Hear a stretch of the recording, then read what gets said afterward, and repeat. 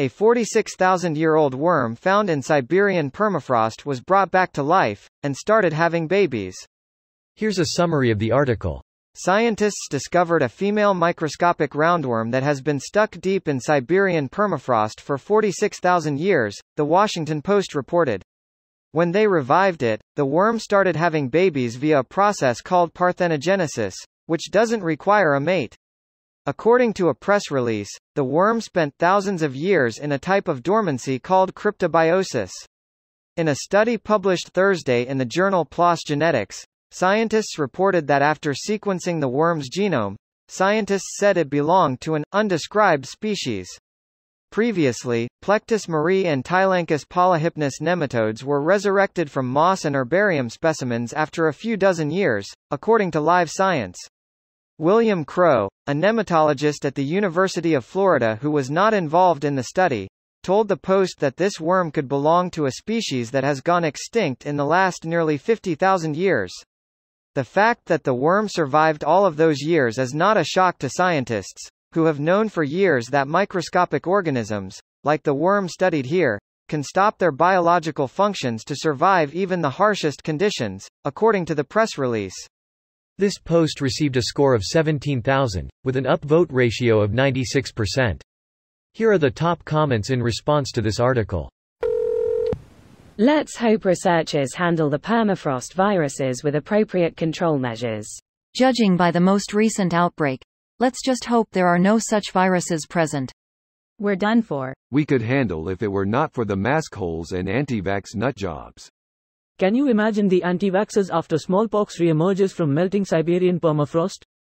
It's going to be a literal pox on them and their family. Then they will have to wear masks to cover up all the crazy scars on their faces. Congratulations, you played yourself. Joke's on you, this is a kick ass face scar coughs up blood. Welcome to Jurassic Park. We only got permafrost worms though. We will have to settle for tremors. Calling in Reba McEntire and Michael Gross. Best scene in all of American cinema, followed shortly thereafter by the scene with Michael Gross in Tremors 2 Aftershocks, the I am completely out of ammo monologue. See what people don't get now is the context. Michael Gross was the touchy-feely, hippie dad from Family Ties.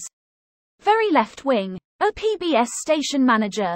I know that was just a character, but he embodied it so well that's where he resided in the collective consciousness of the population. So to see him as an aggressive, right-wing, gun nut was a shock.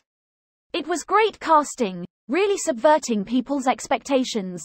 The only modern example closest to it I can think of is Tom Cruise as Les Grossman. I will go to my grave defending Tremors as one of the best movies ever made. Lightning in a bottle and surprisingly well cast who were directed perfectly. No major plot holes and damn few if any small ones. The story is tight and makes sense in its universe. The characters, every one of them, behaves exactly the way you'd imagine they would. The effects still hold up even after, holy shit, 33 years. It's a perfect movie. Defending? Are there people out there denying the greatness of Tremors? Who are these people and when do you want to meet me outside their house? Citizen Kane, this. Seven Samurai, that. Bicycle Thief, the other fuck that noise. Tremors, Dawn of the Dead remake, and The Thing remake, with an honorable mention for Starship Troopers. Given the direction reality has slid Starship Troopers has arguably gotten better with age. Would you like to know more? I guess that means it's one of the oldest living things ever.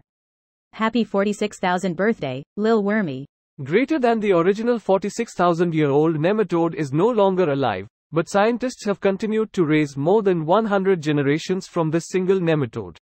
The species reproduces without a mate through a process called parthenogenesis.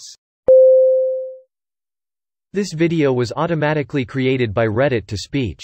The article and comments in this video were selected from Reddit according to their upvotes, and any paraphrasing was performed by smmry.com, without any human intervention.